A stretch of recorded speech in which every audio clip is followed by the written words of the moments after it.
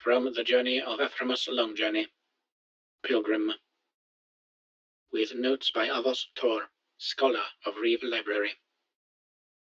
Erevday, 22nd cycle, 7th year, 81st turn. 72nd day in the trees. We remain in the darkness. It is a strange place. I begin to see better in the dark, as does Torn, though we still need the lamp. But we now see things further from it.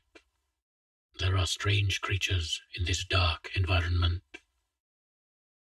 Today, we saw something very pale moving through the gloom. It was only a faint white smudge on the edge of our vision at first, but gradually came into view.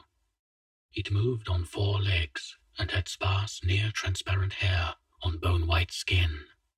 It had four legs, each ending on large, thick feet with long toes ending in small claws.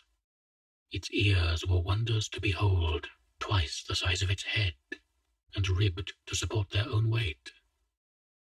Little tendrils grew from its nose, and when it touched nose to earth, they twisted about as though searching. There were no eyes in its head, nor was there any place to put them. Where sockets should have been, there was only blank skin. When it neared us, its head shot up suddenly, and it gave a series of wobbling yips, cocking its ears as it did so. It turned to face us directly, and then ran off, releasing a cloud of dust from the decaying leaves. We heard another series of yips a bit later from much further away, though I cannot be certain that it was the same one. Note, I do not recognize the species, but it seems to have some form of echolocation. Some relative of the bat, perhaps, or a land-dwelling cetacean. There are spiders here, too. They are not so large as a tarantula in body size, but their legs are much longer, stretching as wide as my two hands together.